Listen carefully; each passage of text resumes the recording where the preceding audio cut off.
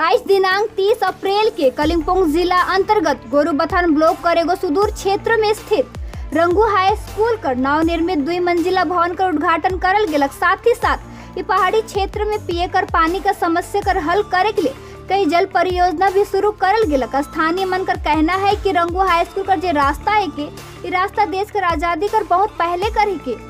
उ दिन में पहाड़ी इलाका जंगल से घिरल रहे। स्थानीय आदिमन कर द्वारा ही स्कूल खोले कर पहल कर लें।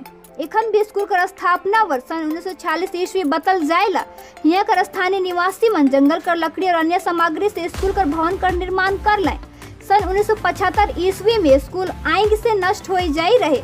फिर भी यहाँ कर निवासी मन हार नहीं मान और दोबारा से स्कूल बनाए कर पहल कर लें।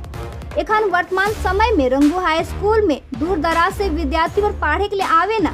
स्कूल का भवन लकड़ी कर होवे कर कारण स्कूल ढांचागत समस्या से जूझोत रहे। साथ ही साथ विद्यार्थी मन की भी पढ़े के लिए समस्या होत रहे। ओहे ले, लकड़ी कर स्कूल भवन कर बगल में द्वि मंजिला पक्का भवन का निर्माण करल गेलक।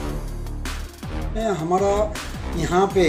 और मेरा रंगो ग्राम पंचायत में, समझिए आपको रंगो ग्राम पंचायत में मिल के 16 करोड़ का ऊपर घर घर जल योजना, जे जे एम एम का काम स्टार्ट होने वाला है। उसका टेंडर होके सब कुछ रेडी हो चुके, काम स्टार्ट होने वाला है। और यहाँ से जाके आपको पाठन गोडक जीपी में भी ऐसे टेन करोड़ का लगभग टेन करोड़ का है। और इसके आगे आपको सुरुक में एक है और वहाँ पे भी छः करोड़ समथिंग का है। इसके अलावा गोदक में चल रहा है, वो थ्री करोड़ का और तोदे में मोटा मोटी फोर करोड़ का और एक बन बस्ती है वहाँ पे धौली बोल के वहाँ पर नाइन्टी करोड़ का, वो लगभग फोर्टी वन करोड़ टाइप का ऑर्डर हो चुके हैं। अभी उसका काम स्टार्ट करने वाला है और आज हमारा विधायक जी भी है और हमारा डिप्टी चीफ भी है और मेरा साथ में वो सभासदगण भी है और संपूर्ण यहाँ का वो जितने भी सीनियर सिटीजन सबका आगे हम लोग इसका इनोग्रेशन और ओपनिंग भी कर रहा हूँ आज ही।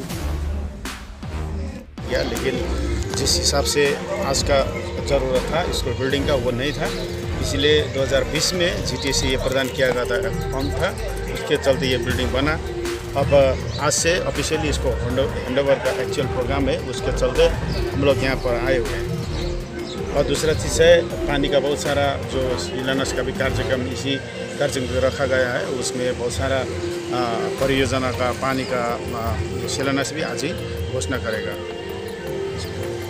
और बरसात का टाइम आ रहा है कालिम्पोंग क्षेत्र में जगह जगह बरसात के टाइम में प्रॉब्लम होता है तो क्या प्रिकॉशन या क्या व्यवस्था लिया जा रहा है आपका क्षेत्र? बहुत सारा है जैसे कि जी अपना ज़िम्मेदारी ले चुका है। उसमें बहुत सारा क्या क्या हो सकता है। जी का अंडर में जितना भी प्रॉपर्टियाँ हैं, बहुत सारा एरिया जो जो जी टी अंडर में होता है, वो ले चुका है और पी डब्ल्यू के अंडर में जो जो रोड्स वगैरह पड़ता है, वो उन लोग का प्रिकॉशन ले चुका है, जहाँ तक जिस प्रकार से आने वाला बारिश में जो भी होगा, बहुत सारा मेंटेनेंस